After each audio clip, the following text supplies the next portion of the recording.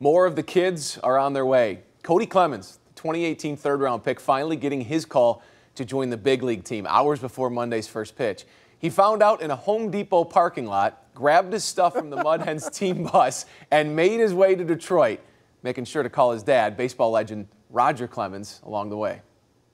It was funny. He was like, "All right," like, and he was scrambling, trying to figure out when he was going to fly here and whatnot. And uh, he loved it. He was like, "You're a big leaguer kid," so it's it was awesome.